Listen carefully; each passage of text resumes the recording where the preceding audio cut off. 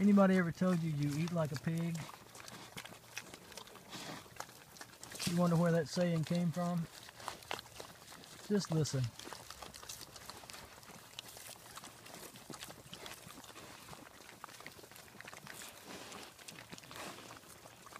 Some may find that sound revolting or disgusting, but as I've said before, I'm a man of the pigs and I find it soothing to, to listen to them smacking and eating.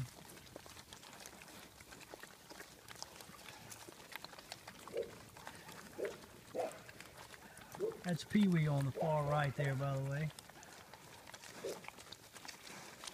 Patty had decided he was going to be Thanksgiving dinner, but considering it's March, you can deduce that he made it.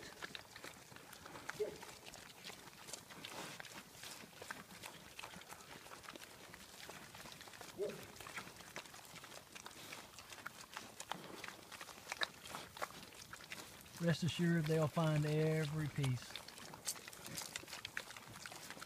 May take them a while, but they will.